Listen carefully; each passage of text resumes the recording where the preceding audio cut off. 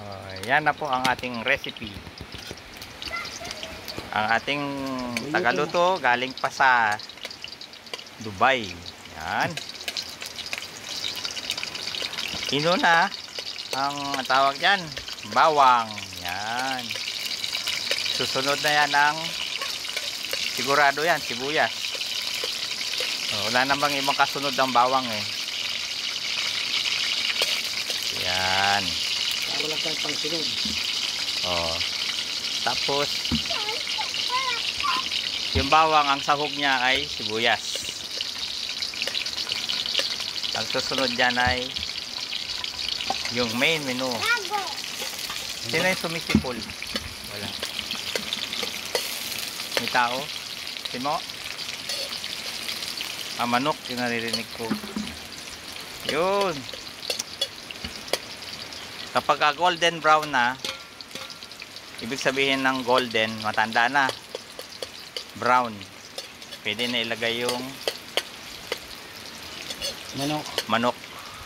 Manok na Kunting puso ng saging. uh, best na walang manok kasi, yung puso na lang niya. Ay, puso pala na saging. Oo. Yun na lang ilalagay. Ayan na po, malapit na. Ayan na. Hmm, nangangawi na. Sibuyas at saka bawang ulam na.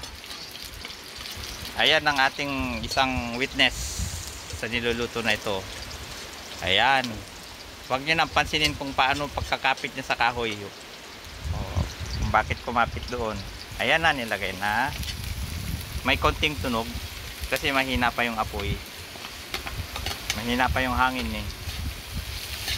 Ayun. Ayun. Oh. Yan ang number one na ulam. Dito sa ano, fine dining yan. Dito sa farm.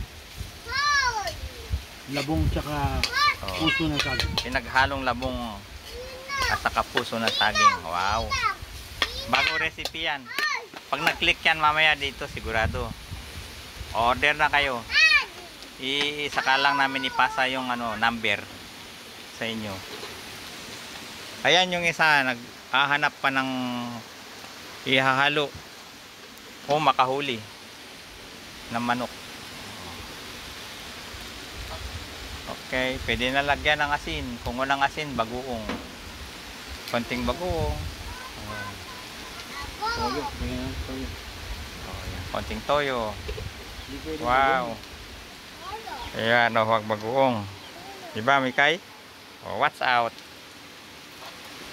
Yan. Ang panggatong namin, walang pagkaiba sa old house.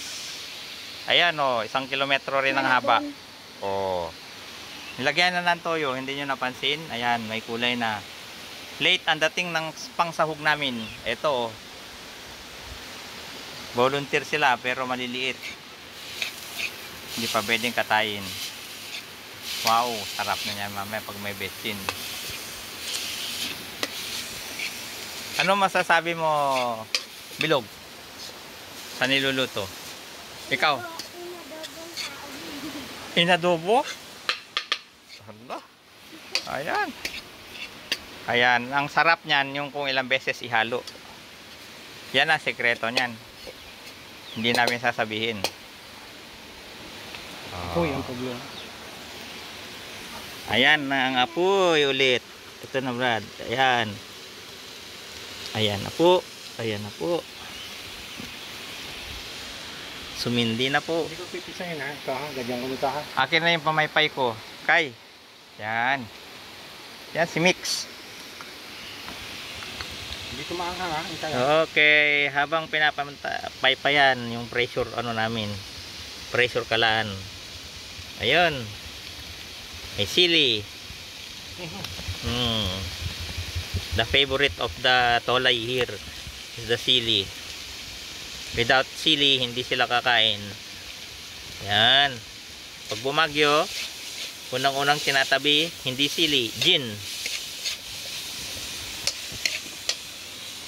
Yun. Wow, may sili na siya. Mamaya maya lang, pwede na yan. Nakaw. Pitchin na lang. Seasoning.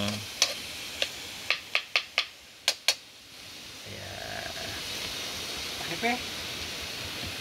Okay, wag na. Luto na yan. Pressurize eh, oh.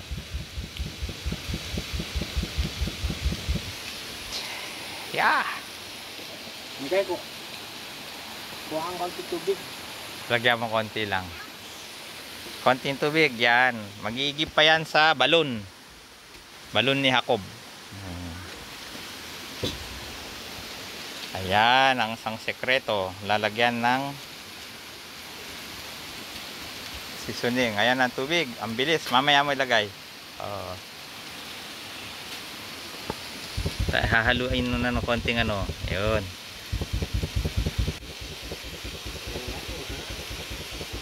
Ayun. Lakas ang apoy. Ito ba luto ng mama mo? Ganito? Oh, pero bola-bola daw eh.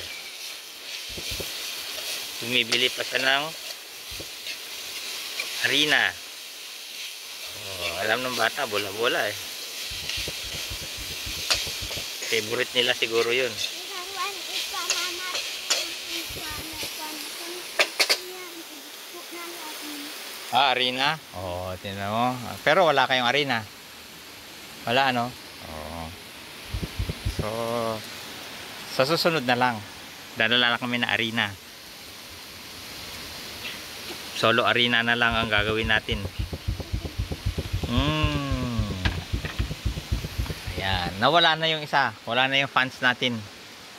Oh. Oh, tingnan mo ikaw mag-video oh. Kita mo? Uh Hmm. Ah, ikaw na, videohan mo kami. Ayan. Tingnan mo. Oh.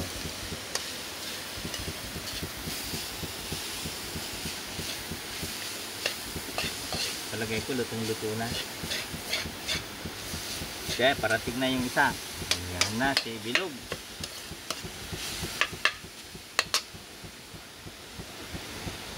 Natin. Okay, takip. Ito na, pantakip, Brad.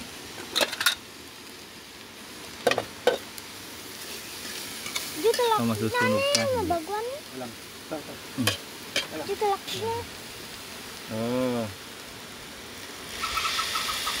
Yung asin niya, Brad, parang wala, ano? Oh. Wow. Luto na yan, mamaya. Makakain na si Mikay. Saka si Bilog. Okay.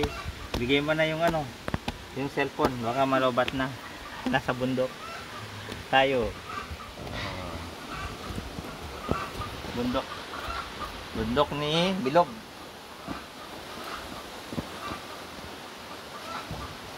Sinugod namin ang kusina ni Rowena.